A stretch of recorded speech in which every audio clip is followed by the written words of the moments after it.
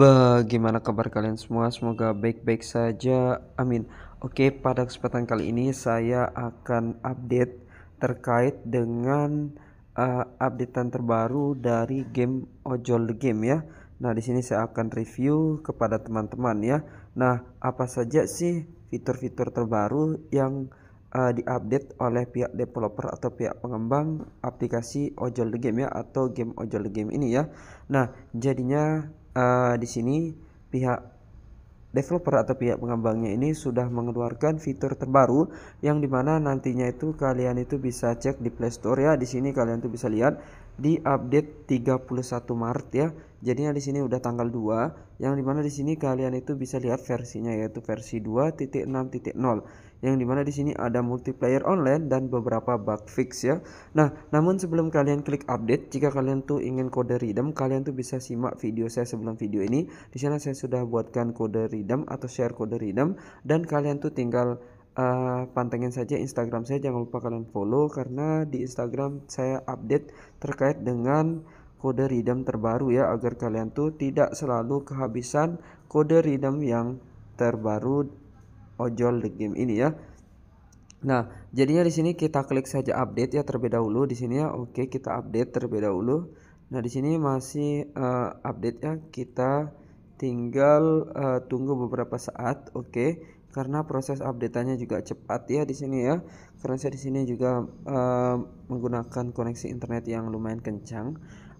Nah, di sini ya. Oke, kita tunggu. Di sini sudah uh, 100% ya. Oke.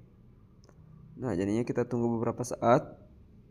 Sini sudah. Nah, di sini kita klik saja mainkan ya. Oke, kita kita masuk ke gamenya. Oke. Nah, di sini ya.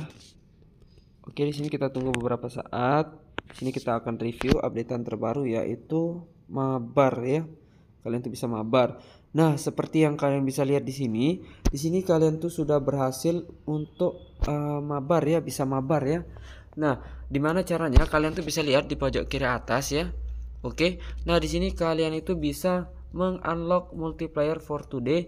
You can ask coin or watch and ads to unlock. Jadinya kalian tuh bisa membuka fitur multiplayer untuk hari ini dengan cara kalian itu menggunakan koin atau kalian tuh bisa menonton iklan ya. Nah, jadinya jika teman-teman ingin mendapatkan banyak koin, kalian itu bisa uh, simak video saya yaitu di sana yang share kode redeem ya. Kalian tuh bisa simak. Oke, di sini kita klik saja satu angka ya di sini ya. Nah, di sini kalian tuh bisa lihat di sini ya banyak sekali server yaitu ada 6 server yang di mana server ini kalian tuh bisa gunakan untuk bergabung ke dalam gamenya ya bersama teman kalian ya. Misalkan di sini kalian tuh bisa ke server satu ya.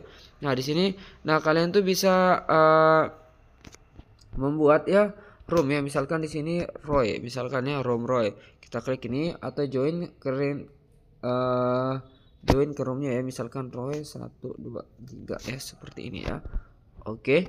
Nah, kemudian di sini kalian itu nah, nanti tinggal share saja ke teman kalian yaitu nama room yang kalian sudah buat ya seperti ini. Nah, nanti kalian itu bisa uh, melihat teman-teman kalian yang masuk menggunakan nama room yang kalian sudah share tersebut ya.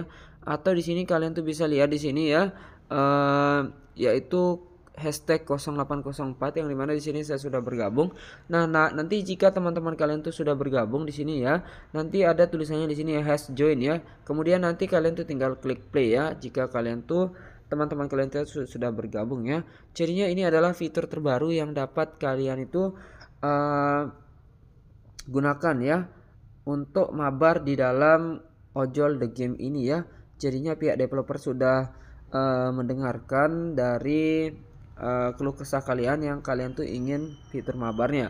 Dan jangan lupa kalian masukkan kode redeemnya yaitu UPV26Z ya. Oke. Okay. oke okay, semoga review ini bermanfaat ke teman-teman. See you next time and bye